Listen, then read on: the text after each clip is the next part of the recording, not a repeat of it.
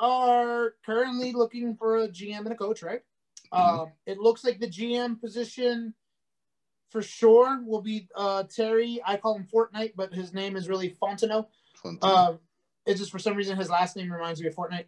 Um, so he is the Saints. He's a Saints front office executive. I think he's pro scouting. Yeah, I Hmm. think I think he does pro scouting. I think he's a, a pro scout. Uh, I, I literally don't know anything about the GM search. Uh, I've just been seeing like little news clips here and there. So this one's all no, you no, know. eh, eh, eh, he, he's definitely with them. He is the uh, vice president, assistant manager of pro personnel. Okay. Um, so he obviously has good experience. Look, we hate the Saints. Mm-hmm. It's We it's a it's a Falcon shirt. Oh, okay. Oh, that's what's up. Yeah. Oh, that's an old school Falcon shirt too. Mhm. That's what's up. Yeah, keep. Yeah, now take off the other the other shirt, man. Keep put that one on. But this yeah, is my strip for, for the ladies. this this is my uh, professional. No man, I'm not Magic Mike. I'm buttoning it up. Okay, continue about Fontenot. Or, or uh, what's it called? Uh, what is what is um Kevin Hart call himself? His rap name? Uh, Uh, chocolate drop, chocolate dropper.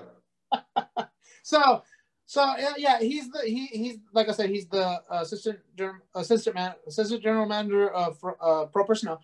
Okay.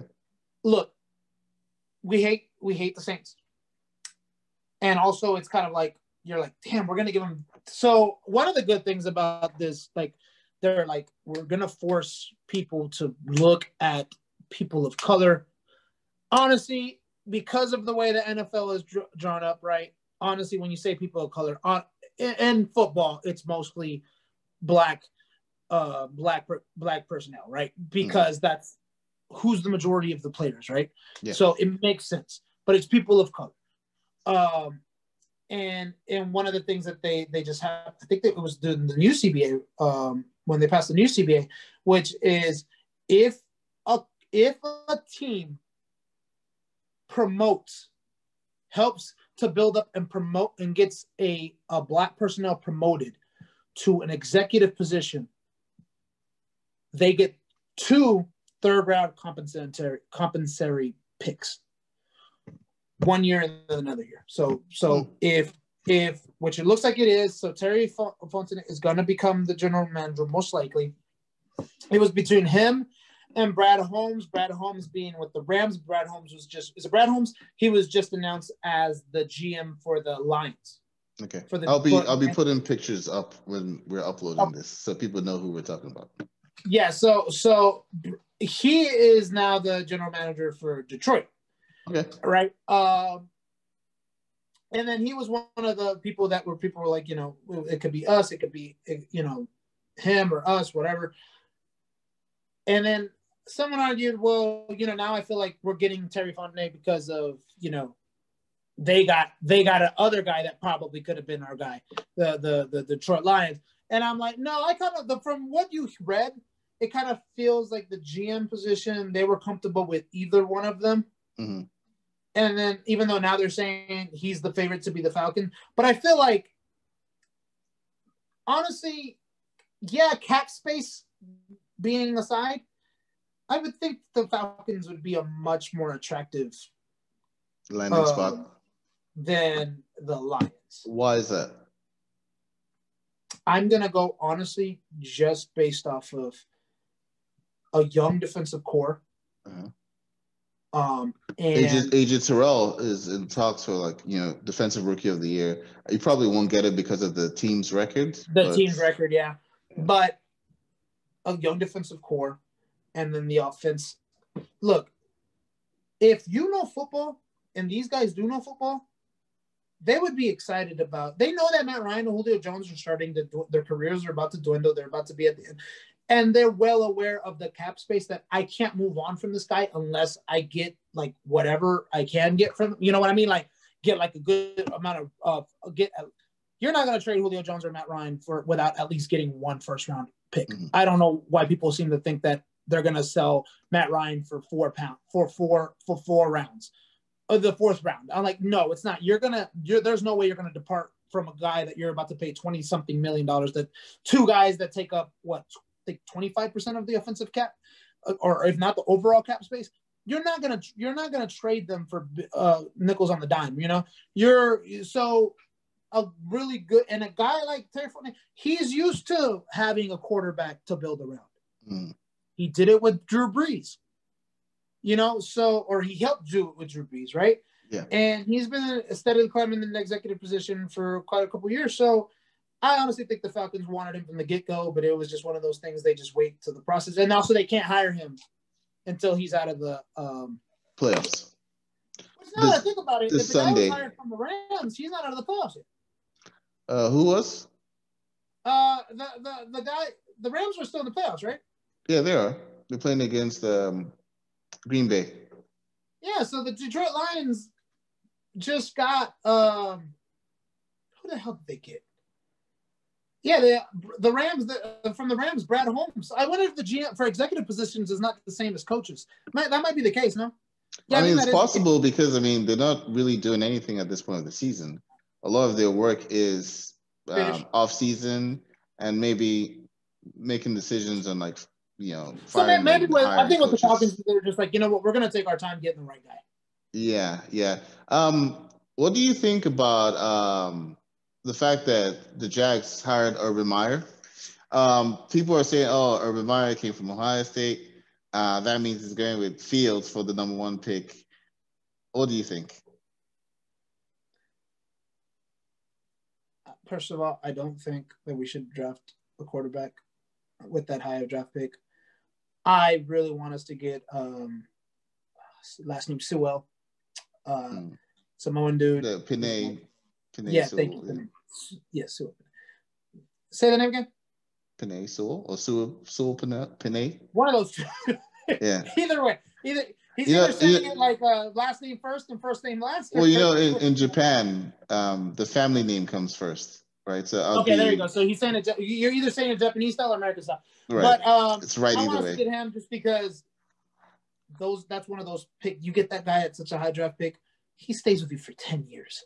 Yeah. You know, you have a steady position for ten years, and then also, um, I just feel like what ends up happening is instantly, as soon as Matt, for some reason, Matt Ryan is a polarizing quarterback for a lot of people. Um, there's a smirk on your face. Please explain. No, I mean I, I agree. He is a polarizing quarterback. Okay. I mean I, I see it all the time um, not even not just the Facebook group that we're part of, the Atlanta Bird Gang, but also um, my friends. Like they're half and half. Like Matt Ryan sucks. Matt Ryan is good. Yeah, and, so, yeah. and a lot of times it's kind of like you know, I was like, I was like, the defense allows 32 points. Damn it, Matt Ryan. You know, it's just like like you're kind of targeting the wrong person. But I guess because it's the quarterback, you have to look at him first, right? Um, but honestly, if I think the thing what happened is if Justin Fields gets drafted by the Jacksonville Jaguars, it actually removes a lot of what? What I say? That's not going to happen. I mean, I, I, know that was the initial question I asked, but I was asking it facetious. I was asking facetiously. That's not going to happen. So you were waiting for me to give you the right answer, right? Yeah, say no. no, no. Why, I mean, okay, but, so? but but sorry. Go on. You said if he gets drafted by the Jaguars. If, honestly, look, if Trevor Lawrence and Justin Field are out of the out, out of the have already been picked by the time it gets to the Falcons, that actually alleviates a lot of pressure mm. from them because I don't think you I don't think they would draft that Zach. I really don't. I think that they would be like, you know what? These are the two best quarterbacks. We can wait till later rounds because now the UGA quarterback has just um, announced that he's um, what's it called? Um, yeah. No, Alabama. Alabama. Alabama. Thank you. I'm sorry. Oh yeah, that's right. Mac Jones. UGA yeah. wasn't in the, the UGA guy was the is it Stidham? Not Stidham. Um, Bennett, Stetson Bennett, or like did, did, went, did UGA even make it to the playoffs? Dude, it's only four teams in the playoffs. Okay, I'm just saying. It's a uh, crappy. Uh, okay. It's a crappy system. It needs to be like eight teams. Um, I agree with you on that one. Yeah. Um, but, anyways, he just announced that he's gonna go, and then they're saying he comes in a later round. So, and like all right, yeah, I, I, think second round. I think the Patriots get him. Think so. Mm-hmm. Some somehow, some way they'll get him. Um, yeah, I. Uh, so the Zach Wilson thing, I was hoping that if the Falcons get a quarterback, it would be Um, yeah, I, have been I've been back and forth on this for a long time. I actually would, was hoping that if Fields drops to the Falcons, that the Falcons do get him, right? And I've and I've I've changed my mind several times on that, and the reason being that Zach Wilson, um, while he shows like really good pocket presence and like being able to throw into tight spots, so does Matt Ryan. Matt Ryan can do those things. Um, I saw this one, this highlight reel of Calvin Ridley because I think he had like the most receptions um, of our team this year, which mm. yeah, not hard. Um, the the first throw was Matt Ryan, um, like right at it was like a place that no one else but Ridley could get it. It was right at the at the edge of the line. It was such a good throw. And I was the like, only people who don't like Matt Ryan and think Matt Ryan is a cor- is a bad quarterback are fans who don't know who are all, all, all up in their feelings about the about right, him. Right. You listen to the people in the booth; they talk about how great he is. Yeah. You listen to, if you hear other coaches talk about him, they talk how great he is. Matt Ryan to to people who who are in football, he is not a bad quarterback to them. Yeah, honestly, I think more people need to have NFL Red Zone or I don't know, just play fantasy football and watch other teams because um, we can talk about, you know, yes, he gets all these numbers and it could be yards after the catch and all that stuff. That's fine. But I'm I'm talking about when you give a quarterback time and you say, hey, run this route, put it in this position. I think Matt Ryan is still one of the more accurate quarterbacks in the league. Um, there's a lot that he doesn't do that I wish he would do, like a Josh Allen, who you know that when things break down, he can take it by himself. He can run it yeah. through. You know, um, that's that's a, that's one of the things. From that time, you know, he didn't come. Yeah, he's exactly. He's not from that's that era. That's that's why I kind of like Fields over Wilson. Um, I haven't really seen tape on Wilson that suggests that he um, he's mobile, um, but we know Fields can run if he needs to. Um, Fields made some really good throws in that game against Clemson. Um, against Alabama, he was just swarmed. There was nothing he could do. Against against Clemson, he made some pretty good throws. Now a lot of it was just you know straight up fly routes, and you know the Clemson defenders got burnt. But to make the the throw is still impressive. Um, I, I think if you build up on Fields um, throwing into um, proper like coverage, like like like like throwing into the routes and all that stuff, couple that with his speed, I think Fields can be like the next Lamar Jackson. Lamar Jackson, you know, that actually wins games. You know, so so you know, I I I, I like Fields. I've I've thought about it. I've been on and off on Fields, but I, I like Fields, but I don't think we're gonna get him. I don't think it's gonna drop to the Falcons. I think it yeah, probably will be the guy you're talking about, the Sewell guy. You think so? Yeah. I'm like, if we're gonna go for a QB, if we get Trevor, which isn't gonna happen, there's no way we're no, not getting Trevor Lawrence. That dude is gonna be number one. Overall, like, no, yeah. there's no, there's no doubt. Like, yeah. he's already counting. He's already counting his money. Um, but um, what I was gonna say about the, the the thing is when you draft a quarterback so high. Okay, yeah, I understand. You need to put pressure on Matt Ryan, right? But what ends up happening is you end up having shitty games bad offensive line at one point that causes like uh, the QB to just have a bad game, right? Even though when Matt Ryan has a bad game, he's still throwing a lot of he's still throwing a lot of successful passes, right? Yeah. Um, what ends up happening is as soon as the first sign of trouble is, people are going to want Matt Ryan off the field, put in the new guy. Now you have a quarterback controversy. But this is the thing I don't like. I don't like it. Look what happened with Sam Darnold, with Mitchell Trubisky, with Josh Rosen. You throw these guys into these things. Not all of them can be like Matt Ryan, who's are were successful, you know, off the bat, like the first year. Mm-hmm. There's a there's a lack of development for for quarterbacks now, the way they used to be back in the day. One of the reasons Aaron Rodgers is the is as great as he is is because he he stood behind Brett Favre for three years. Yeah, you know, and, and it's just like not all of them can be like Peyton Manning, who you know uh, just jump in, go in right away and become uh, the starting quarterback, right? Yeah, but get drafted in the first round and be successful as a starting quarterback. Yeah, yeah, it's just like no, some of them do require development. And the problem that happens is it's such a win now league that you just automatically get thrown into to it. And this is the thing though, uh, also one of the biggest things to me is when you draft a QB, that's pretty much to me going to be saying they're going to blow up the whole damn thing. Mm, okay, build around and that then, guy. Yeah, and then once once they blow up the whole damn thing, it's just like that gives us three two years of of being able to be mediocre and not, you know what I mean? I honestly think. Do you think if you have the 2016 offensive line? No, nah, I can't say that because I'd say if you have the 2016 offensive line and Justin Fields does as great as he could is as great as people think he will be, he could win the Super Bowl behind I, that offensive line. I, I think, and I actually now I'm really hoping for this. There's a lot of reports of people saying that Justin Fields will benefit a lot from playing one more year at Ohio State because he's only a junior. Um, if he does that, I think that's best case scenario for the Falcons if they're able to draft high enough to get Fields, because at least you get Fields in the 2022 draft, and he's only sitting behind Ryan for maybe a year or so, because uh, Ryan's contract is only two more years, right? Uh, he has three more years, but I'm pretty sure the cap hit is really not that bad at the third year for them to let him go after that. Right. So, um, I mean, if Matt Ryan is still having a poor run of it, then you draft Fields. I honestly don't think you will. Honestly, you put the right if which leads into the other thing, which is the possibility. Most likely, it looks like Arthur Smith is going to be the head coach. He's the offensive coordinator for the Tennessee Titans. Most likely, okay. he's going to be the offensive coordinator for that.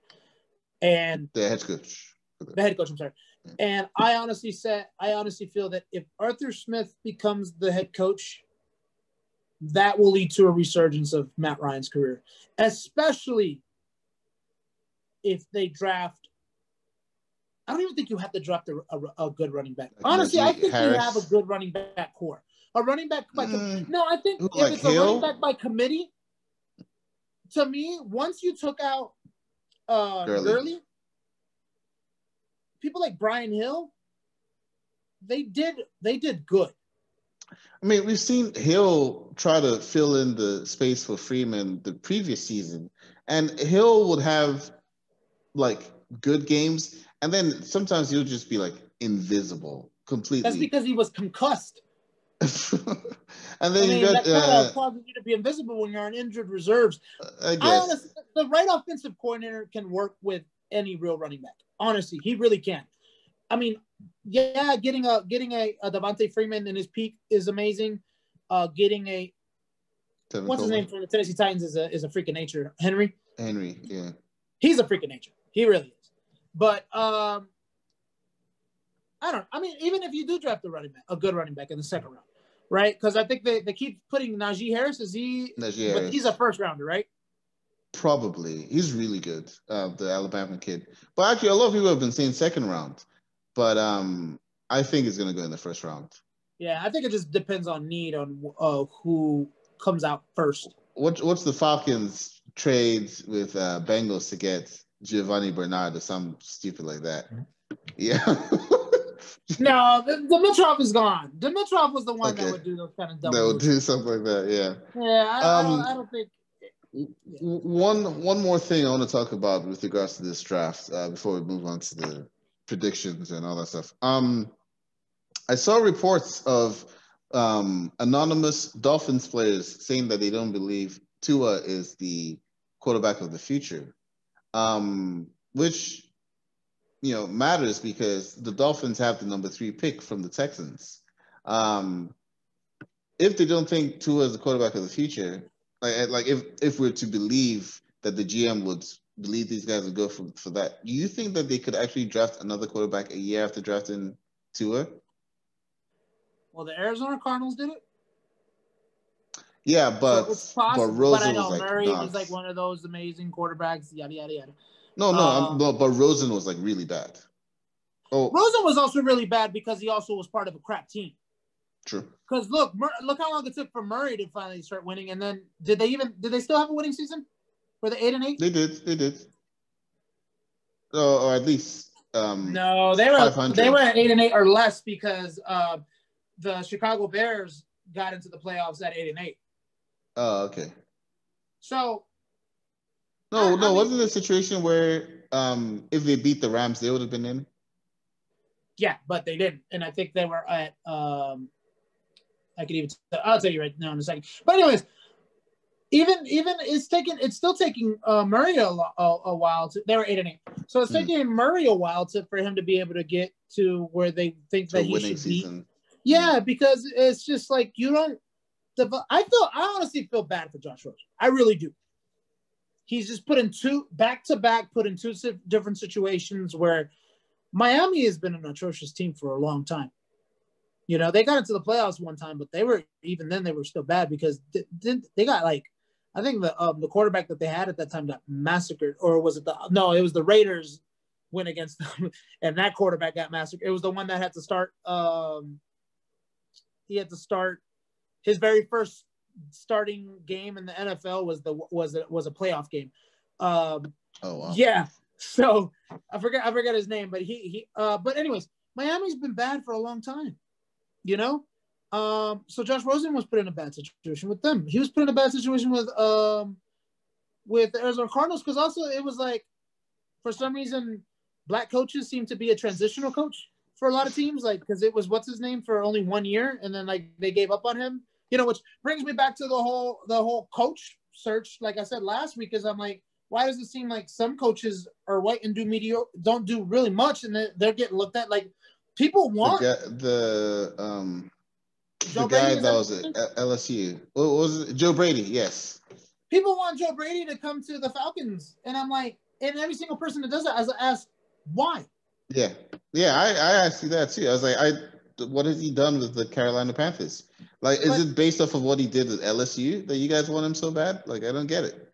Yeah, I just I don't get it either. So it's just like, and then he had what's his name to work, work with back then? What's his name? Joe Um, Burrow. so just no, I'm just like no. Um. Yeah. Anyway, Um. Okay. So you don't think they will draft a quarterback? Is that what you're saying? Miami. Yeah. No, I feel that I think they're gonna grab my guy because look, they can easily be like, all right, you don't think Tua is the one, but maybe it's because Tua doesn't have a great line. Again, one of those guys you just plug in. He go. He's But if they grab your guy, then so that means um, Lawrence is gone. Maybe Fields or maybe Wilson's gone, and then your guy's gone. Would you take Wilson if it drops to the Falcons? Would you take Fields if it drops to the Falcons, or skip? I'll take Fields just so y'all can shut the hell up.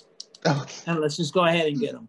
And then we'll find out for sure. And then what's going to end up happening is Matt Ryan will probably get traded to the San Francisco 49ers for a first rounder and, and a couple of players from the San Francisco 49ers. And then Matt Ryan goes win a Super Bowl ring with uh, Kyle Shanahan. And then we hate Kyle Shanahan even more. Honestly, I I would.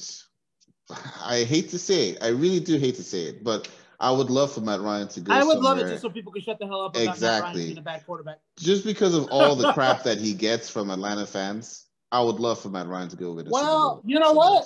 what you said um, a while ago about wouldn't it be uh, when we were talking about Messi's legacy and we mentioned Tom Brady and it'd be crazy if Tom Brady were to make it to the Super Bowl without Buck. He's one game away from being at the NFC Championship. And and I want them to win. I want them to beat uh, the Saints. I do too.